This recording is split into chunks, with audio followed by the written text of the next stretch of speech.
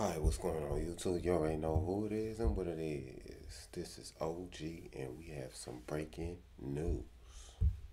So what I'm gonna do is I'm gonna have Steve break the news. Go ahead, Steve, break the news, man. Let us know what's going on in Arlington, Texas.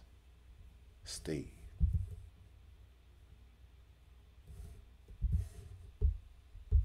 Arlington police announced four arrests for last night's shooting that wounded two people at the Parks Mall in Arlington. Hello, I'm Steve Eagar. That shooting happened following apparently a fight over a girl. The gunfight led to a lockdown and evacuation of that mall. Police released mugshots for three of the suspects. The fourth suspect is in the hospital. Today, as the mall reopened, we learned one of the shooting victims was an innocent bystander. FOX 4's. Hold on one second. This dude name is Jaquise. Jaquise. So they named him. His first name is his last name, and his last name is his first name. And then the third suspect looked like Lil Wayne from 2006. I ain't mean to interrupt the feed, y'all. Let's keep going. Bystander. FOX 4's Dionne Anglin live in Arlington tonight with the latest developments. Dion. Hey there, Steve. That's right. A fight is what led to this mall shooting, and police say one of the two people struck was a woman who was shopping and had nothing to do with any of it. Less than 24 hours after gunfire inside the Parks Mall, shopping resumes. Perspectives from the parking lot to a view inside appear like a typical day. A stark contrast from Thursday night when more than 35 police units responded to the mall shooting scene. So I work actually at the Chick-fil-A in the Parks Mall.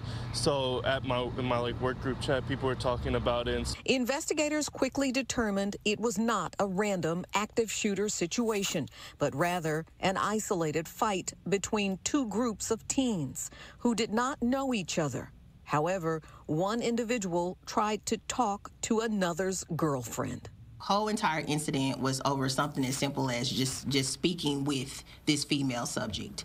And uh, one of the individuals did not like that the group was speaking to his girlfriend. Investigators say the violence started on an escalator.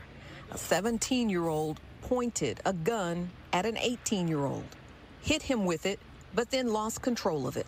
During that process the 17 year old dropped the firearm, and the 18 year old male who was originally hit with the firearm picked up that firearm and shot and fired around at the 17 year old male.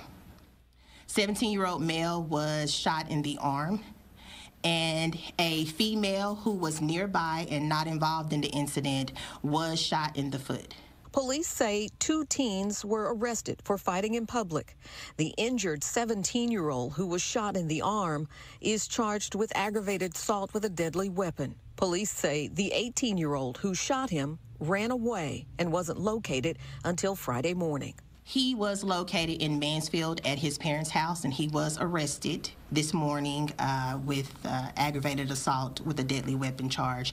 Meantime, police presence at the Parks Mall is increased.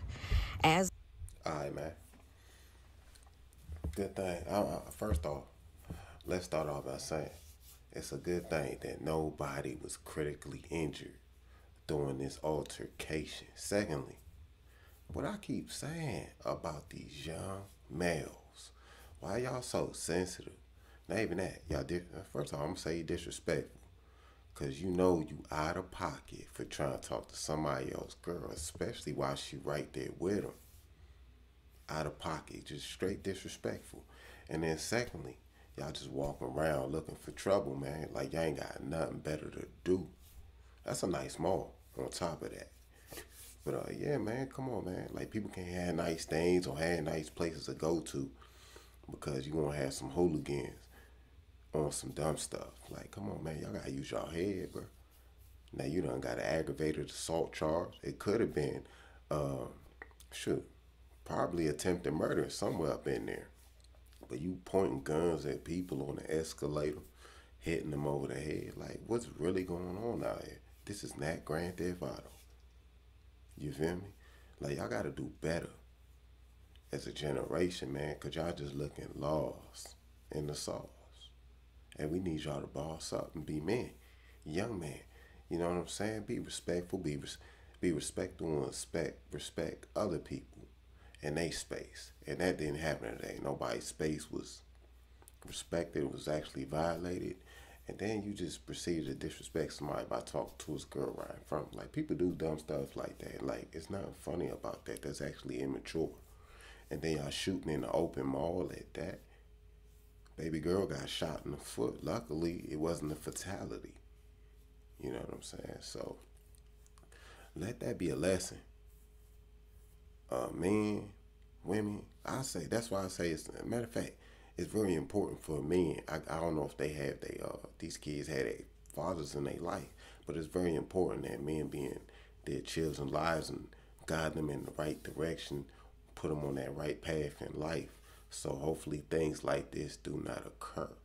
There, you know, to the point where they actually hang with the right group of people, because it sounded like they was all in, they was all on the same program.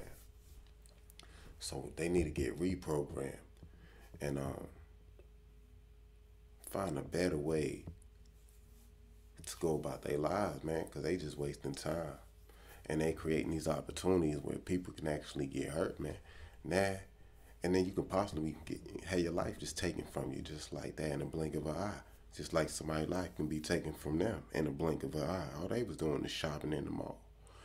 Nobody want to go outside and have to be a part of your boo, you know? So let that be a lesson to y'all, young men, young women, uh, adults, whatever. Especially when you're dealing with firearms, this is not. It's, it's supposed to be something that protects you, you, you, you yourself and your family, uh, not to conflict harm on somebody, just because you feel like you can. Um, and like, don't talk to people's girl, man. Like that's just straight disrespectful. Um, that's really all I got to say about this topic right here. I'm just glad it was no fatalities. Um, y'all gotta do better, man. Y'all wasting a lot of time, man.